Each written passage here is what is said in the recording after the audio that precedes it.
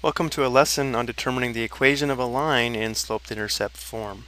The equation y equals mx plus b is called the slope-intercept form of a line, where m equals the slope of the line and b equals the y-intercept of the line. So based upon the information that we're given, if we can identify the slope and the y-intercept, we can then write the equation of the line. So looking at our first example, we want to determine the equation of the line passing through the point 0, 2 with the slope equal to negative 3 fifths, and then we want to graph the line.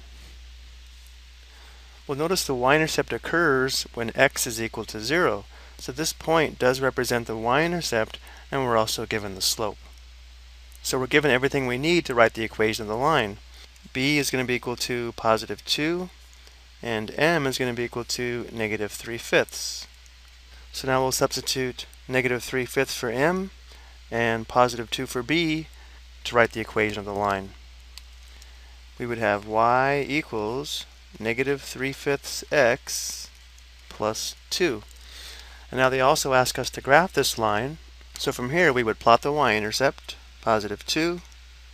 And then since the slope is negative 3 fifths, from the y-intercept we'll go down 3 units and right 5 units we went down 3 units because the numerator was negative 3. We went right 5 units because the denominator was positive 5. So our line passes through these two points and would look like this. Let's take a look at another example. Here we're given the line passes through the point 4, negative 1 and has a slope of 2. We'll notice how this point is not the y-intercept because the x-coordinate is not equal to 0. So we know the line has a slope of 2 and it passes through the point 4, negative 1. So for this problem, we can substitute 2 for m, so let's start with that. We know that y is going to be equal to 2 times x plus b. Now we still have to find the y-intercept but since we are given one point on the line, we can substitute 4 for x and negative 1 for y, and then solve for b. So this would give us the equation negative 1 equals 2 times 4 plus b. And now that we have one unknown, we can solve for b. We have negative 1 equals 8 plus b. Subtract 8 on both sides. Would be 0. So we have b equals negative 9. So now we'll substitute negative 9 for b. So our equation would be y equals 2x. And then instead of writing plus negative 9, we can just write minus 9.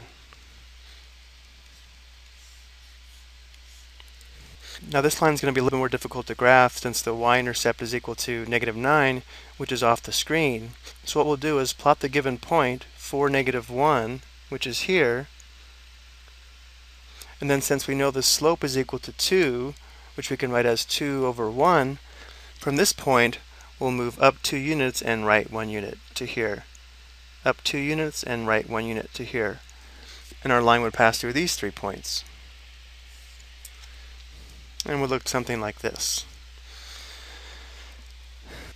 Now we want to find the equation of the line passing through the point 6, 3 and the point negative 3, negative 3.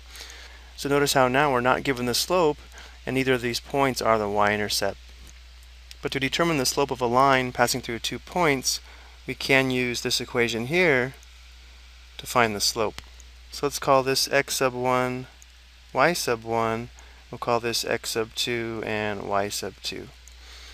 So the slope of the line it's going to be equal to y sub 2 minus y sub 1 in the numerator and x sub 2 minus x sub 1 in the denominator.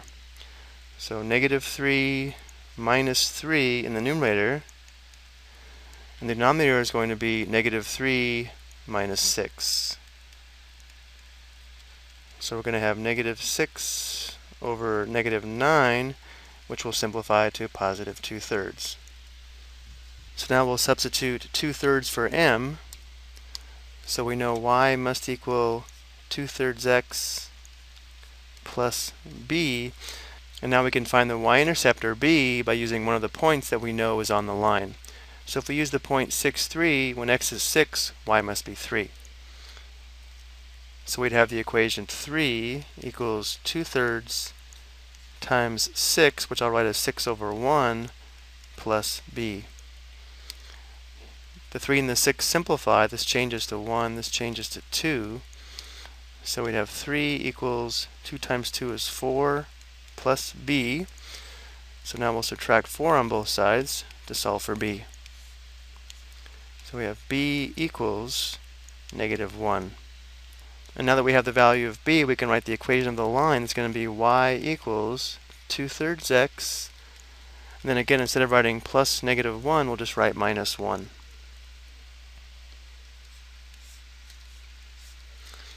And now to graph this line, we'll plot the y-intercept of negative 1.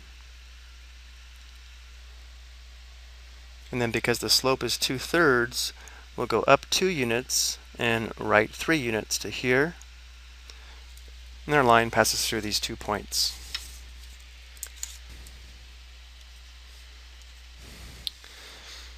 Let's take a look at one more example. Same type of problem, we're given two points, we want to find the equation of the line. Let's start by determining the slope. We'll call this x sub 1, y sub 1, x sub 2, y sub 2. So the slope is going to be equal to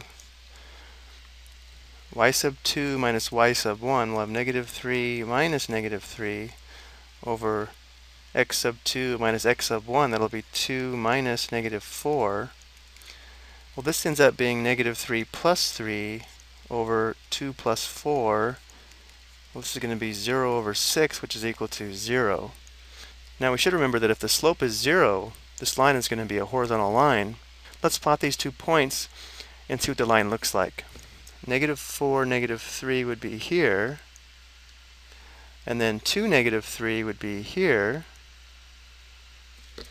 So we have a horizontal line passing through y equals negative 3. If we go back and take a look at the two points that were given, notice how both y coordinates are equal to negative 3, which actually tells us the equation of our line is y equals negative 3. Now if we didn't recognize this, and we tried to figure out the equation in the normal way, we would have y equals 0x plus b, and then we'd use one of the points to substitute in x and y. So if we use the first point, we would have y equals negative 3, when x is equal to negative 4. And notice how this would be 0. We still have b equals negative 3. And since 0 times x is equal to 0, we would have the equation y equals negative 3. So either way, we'd find the equation. But as soon as you recognize that it's a horizontal line, we know we'll have an equation in the form of y equals a constant. Okay, I hope you found this helpful.